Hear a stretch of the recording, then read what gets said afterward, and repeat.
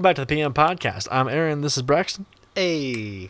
And welcome back to part two of last week's podcast. We are talking about the transgender community.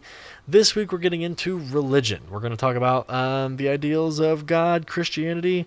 Um, is there more Faith. than one God? Faith in, in in general, a little bit of everything, really. Um, encapsulating religion and then kind of tying it all into last week's episode. So, um, there were some things said. So if you get offended easily, uh, don't watch or don't listen because we do have individual ideals and opinions, and as long as you're willing to hear and respect what they have, what we all have to say, you'll be just fine. So, uh, without further ado, enjoy the podcast. For me, it's like right. I'm not gonna. If you were born a certain way, fuck it. I don't care. It, it is what it is. You're still a human being. Yeah. If we have a connection and relationship, cool. I don't. Yeah. That's fine. Yeah. So it's uh, and like yes, I get that like religion plays a big aspect for you, Mm. in your in your well, and, and you've been always kind of like that, but the religion plays a bigger aspect for you now because it's your ideals are backed by your religion, so it's you're a little more firm in the way you think and believe. Um, whether that's right or wrong, I can't say that because it's faith and what you believe. So I can't I can't tell you that you're wrong.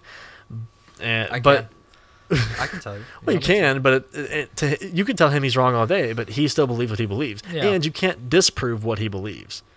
You believe you you believe something by faith, so it's like you can't disprove his faith. So it's like, I mean, it, I'm just so it's so like, that's crazy. but he Uh, also can't disprove what like you. Everybody can tell. Everybody has opinions. Everybody has a way of life. yeah. But no one can sit there and you can't tell me that I'm you can't tell me that I'm wrong all you want, but that doesn't mean I have to listen to it or Yeah. believe it. Like I can respect your opinion, what you say, but at the end of the day, I'm gonna believe what I want to believe, and Right, as long as we have that respectful conversation, I think once that conversation starts and you ask like why do you believe that? yeah, That's where I start to well, it's because of religion or if it's because of the way that I was raised or if it's because of the w- things that I've done and been through that then that's a different perspective but I think religion is a whole nother that's that's something the way that I think about it religion right I I, I feel like I'm religious uh oh, yeah no no no no but Here we like, go. I feel like no, I'm kidding. I'm just no, like, here's the roller no, coaster. yeah, Here we go. no, here it is. So like religion, the way that I, the my personal view is that I pray to a God every night that I believe in. Right, that's faith. Right, Yeah. the God that I pray to isn't the exact God that you read in the Bibles, because I don't believe in most of the stuff that comes throughout that Bible. Mhm. But I would also like to think that there's so many different religions out there. So I take on that perspective like, hey, if there is this almighty person, he's not just a person, he's the person. So you're kind of like me. You're hopefully ag- you're hopefully agnostic.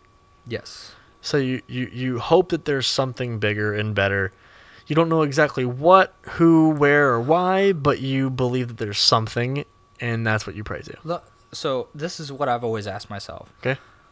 Are you maybe this might be personal. Are you are you close with your family? Yeah. Blake? Are Oh, you yeah. close with your family? Yeah. What if I'm very close with my family and then but what what if I die, right? And I don't see my parents. Where are they? They're not in heaven.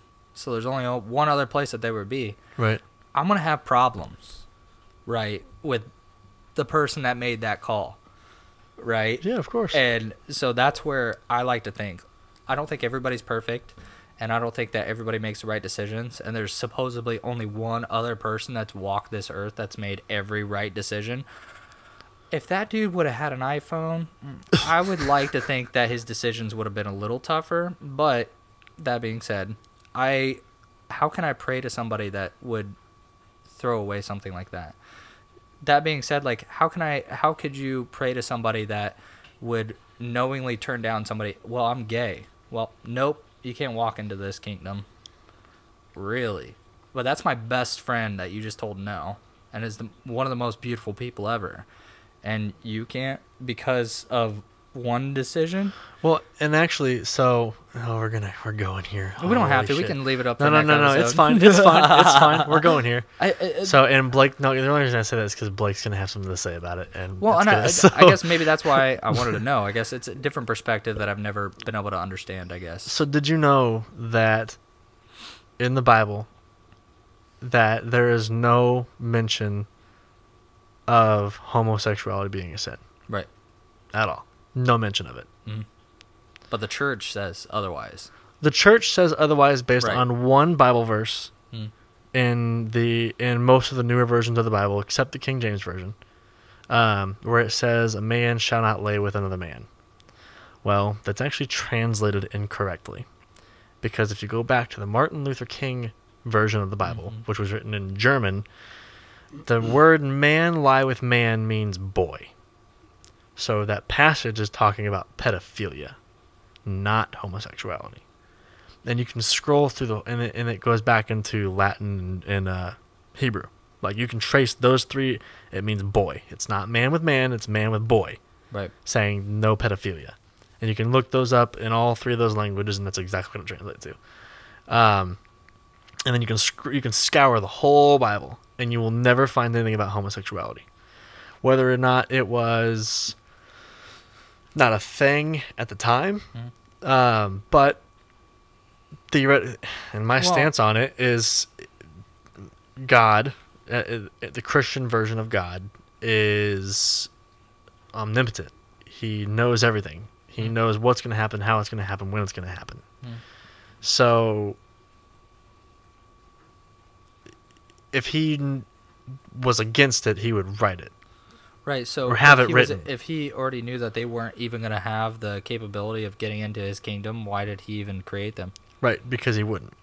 And so Right. that's So my I feel like question to you. right, everybody has a chance. is yeah is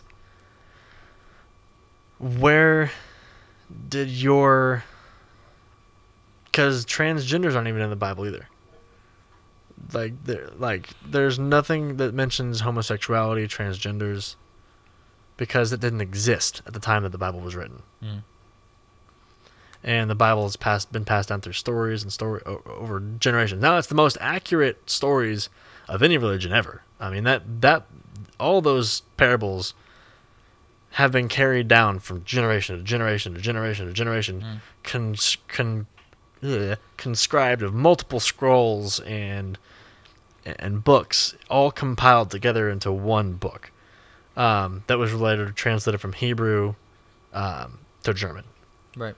and then German to French and all that. So, but and the thing about the Bible, the, the thing that I have an issue with in the Bible is that it's been translated at least three times before we have the English version of the Bible. Mm.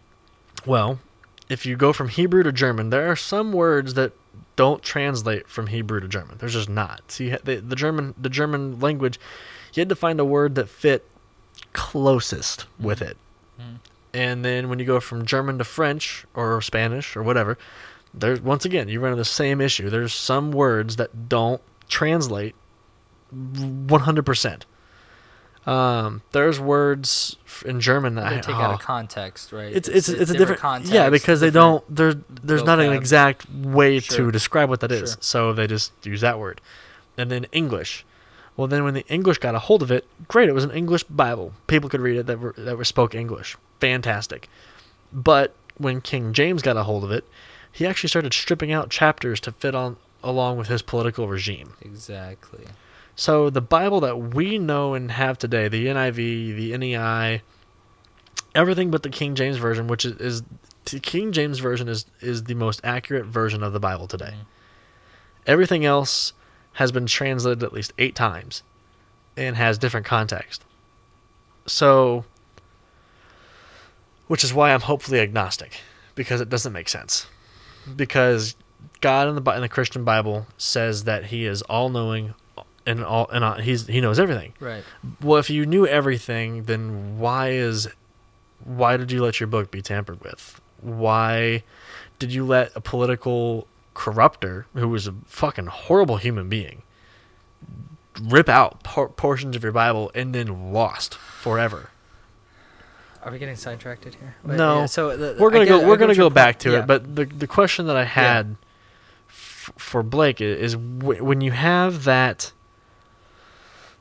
that conversation where you say you believe based on your beliefs that it's wrong where have you read or seen where it has been talked that it's wrong does that make sense yes, Okay. yes you're trying to find a viewpoint.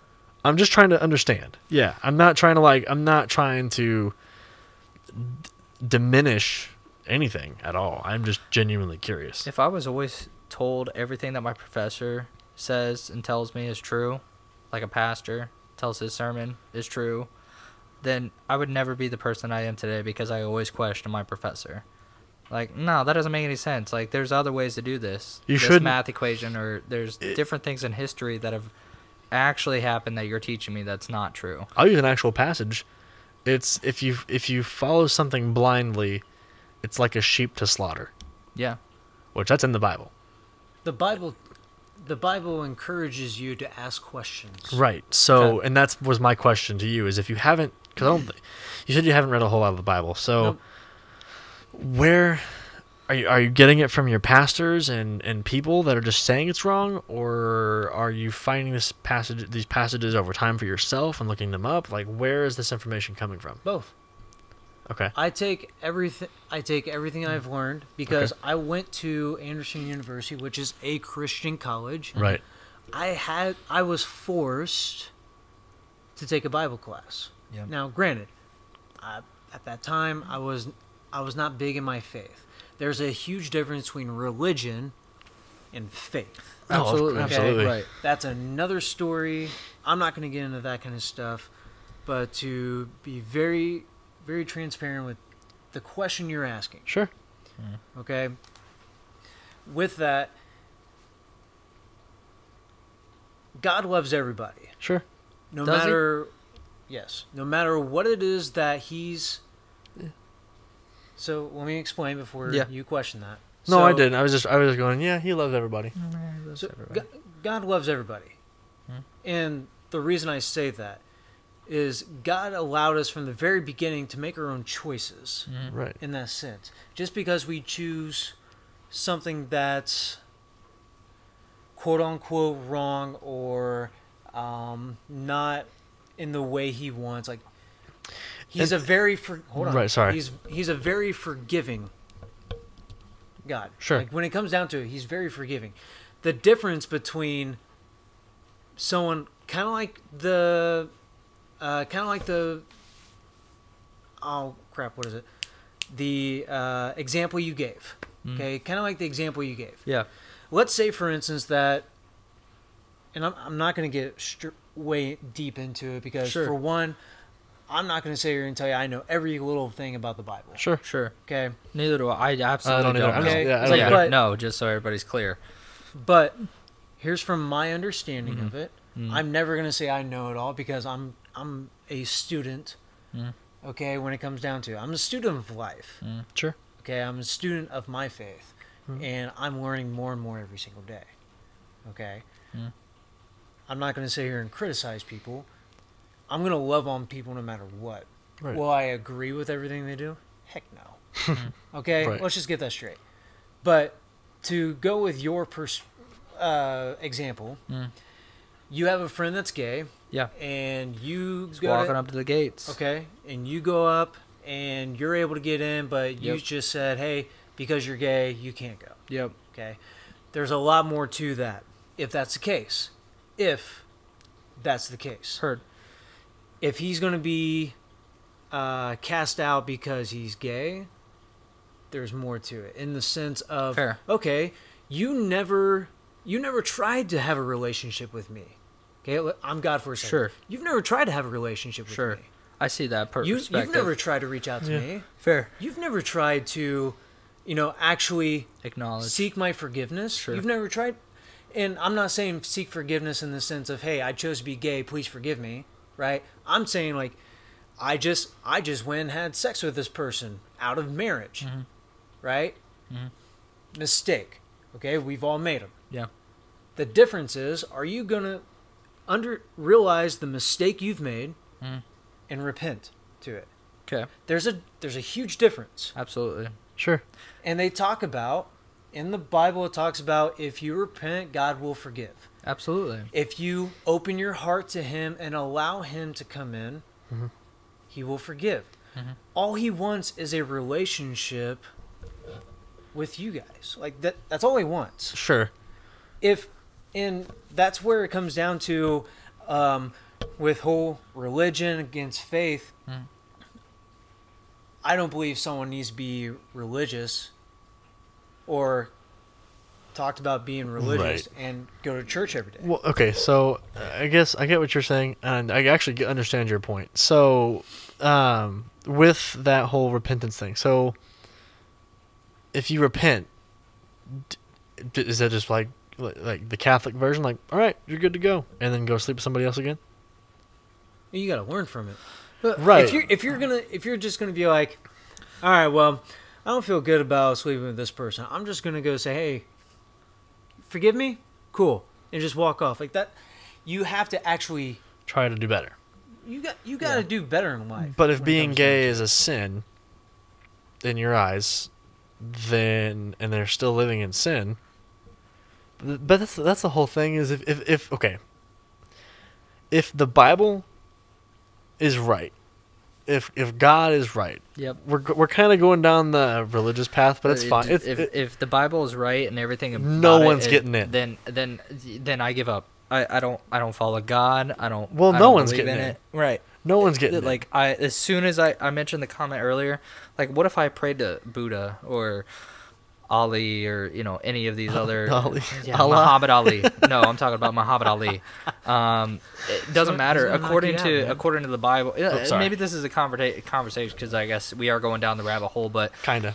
it you know like i mentioned like even if i saw my father like my father you know my father is the epitome of what i would like to be in my life and if god tells him no i'm going to tell him no Right. Be like well i'm going to go where he goes because wherever he goes that's where i want to be because of people like him like my father yeah. or example um like if i pray to buddha once according to the bible i'm burning in a pool of fire forever Yeah, because it's it's you're and it's like you're are you praying kidding me you're You praying to a me- false god. right you, you can't even let me try right you can't even let me experience that and that's where i and it, maybe me and you agree as far as like i think that there is something out there i think that there is something more powerful out there than us right not I- aliens I not- I believe there's a god. I think there's some spiritual out there. I, I well, because what what is a god, right? What if you're if you're breaking it down? What is a god?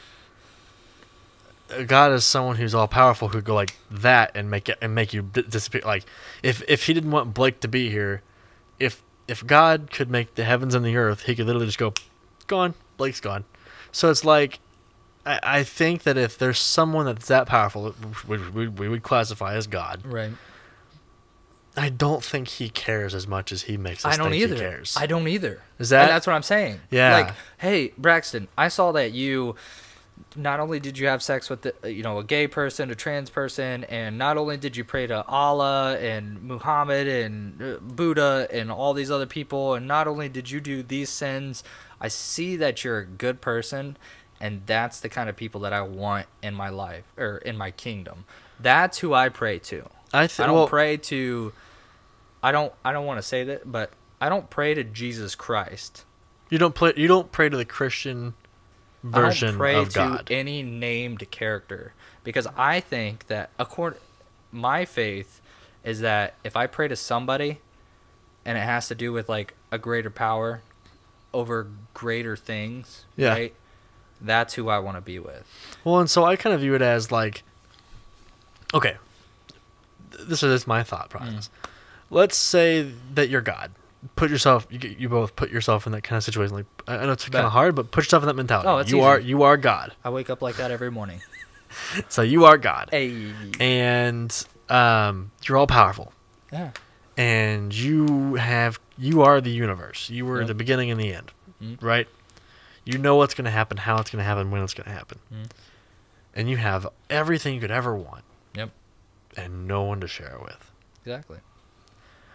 So you create man in your own image Mhm. to have some something that you created that will look up to you Sure. because you like a need kid, because you need that gratification. a kid with a parent. Now, in the Bible, it doesn't say that God says He doesn't need it, but it's more like one of those things where it's like, if you're that powerful and you're alone, it's like, make something, do something, have somebody. But I, but I don't think the God that we, the Christian version of the God, Mhm. I don't think that He cares. And I'm not saying He doesn't care about us. Just I don't think He cares as much as we are led to believe. Because I, I don't know. Would you, would you rather spend a hundred years praying to something that you believe in, or a thousand years on your knees studying the religion of another belief that is true? Wait, say that again. Would you rather spend a hundred years on your feet praying and worshiping this God, Right. or would you rather spend a thousand years on your knees reading and writing and memorizing everything that is to be of this actual God? Would you so example in the Bible it tells you that after you pass away you're going to spend a thousand years reading and writing all the text of the, of the Bible so that way when the end comes you're going to be one of the angels that comes down and has all these answers right to God's work so according to God we're going to spend a hundred years on this earth doing whatever we want to do but as soon as we die we have to spend a thousand years according to this book Where's this at? Oh, I don't know. Religion, It's it's probably Catholic probably. because Catholics are the only one that believe in purgatory. That makes sense. That's not in the Protestant Reformation. There's just so many of these rules out there for religion. That's the It's just Cathol- like, that's Catholicism. God, dude. Like, doesn't Cath- it get old? Like, don't you Cath- just want it to be simple? Like, hey, Catholicism believes in purgatory, where when you die, you go to this waiting place for the end times. When the rapture happens, then you go down to Rapture. give answers. That's when- what it is. Yep. When you go, da- you go down to earth to give answers to the people and bring them Mhm. up with you. Yep. The, w- during the Protestant Reformation, when Martin Luther King took the Bible and was like, "No, you don't need a you don't need a pope to go get to God. You don't need a bishop. You just need to pray to him." During that time, that's when the whole there's no purgatory. It's just you go to heaven, you get in or you get out. It's one of those kind of things. I just, I would rather spend a hundred years Sorry, praying I to did something a that I would believe course. in, versus a thousand years being forced to Yeah. Um. believe in something that I never heard of. At the end of the day, I think I'm open minded about it. Yeah. Like if if something was like, "Hey, this thing is right," like if so, okay, Yeah. if if if I could have 100 If you percent died, you'll figure well, it no, out. but if I right? had, if I had 100% proof that like Buddhism no was the right way tomorrow, that's not faith then. no, I know, Right. but I'm just saying, like if I had that information, I would not be closed-minded enough to be like, oh, that's not right. Right. You know what I mean? Like if if we like for Christianity, if God were to be like, "What's up, bitches?" I'd be like, "Oh, hell yeah, let's do oh, this." Oh God, You know what I mean? Right all along. right but but but i'm not so close-minded to where if like if buddhism was the correct Right. if they were if it was actually true Right. i wouldn't be so close-minded to b- blindly follow something that i know is wrong at this Right. point because i have information to prove otherwise It's hard.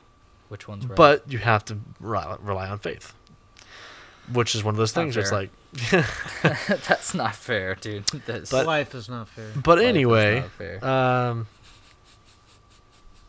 this has been fun it's been really good. Honestly, though, uh, wait if, hold on if I, I, I think he's wanting to say yeah, I, I want to just say this yeah tell me. because for me, I'm not much of a reader. Okay, just Same. like what you just said, right? Mm. It's like I'm struggling trying to read the Bible. Mm. Okay, Mm. Is I I have full faith in it. Everything's like, but I still struggle with that kind of stuff, and I still have a lot of questions when it comes down to it. However, the difference is, and I'm not saying this in the sense of like, like, sma- s- slap your s- slap your wrist or whatnot, right but there's a difference between having questions and not seeking to have the answers outside of a book. Wait what say that again There's a difference between having questions and not seeking them outside of a book. Because if I read the Bible Yeah. and you read the same passage, Sure. we're going to have two different perspectives. Mhm. two different perspectives, two different ways that we're coming up with answers on it. Why? Right.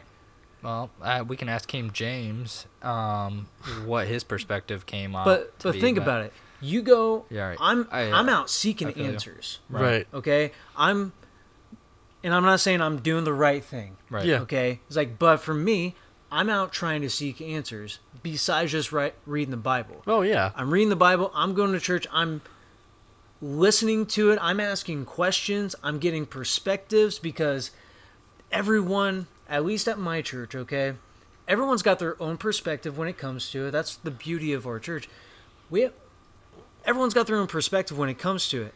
I'm gathering ideas from everybody when it comes to it because I want to understand this stuff. Mm-hmm. Okay, and It's also why there's so many dom- denominations. say what? It's also why there's so many denominations Yeah, because everybody believes a little bit different, and so they'll just go make their own church. Yeah. And follow that, My- which is why I think everybody's wrong. well, and that's where and that's where you got to figure out what you What you truly believe. what you believe in. If you're just going to read the book the whole time, Mhm. you're never going to get your answers. Right. But if you have different perspectives when it comes to it, Sure. that's why the Bible even says on there, ask questions. Right. Okay. And now, obviously, he says it a lot smarter. So than I let, just let me bring this back around. So um, you have a you have a transgender person who is uh, trans tr- tr- trans female, and they believe 100% that they're a girl. They had the transition. They Right. did the transition. They are in their eyes a girl, so therefore they are a girl.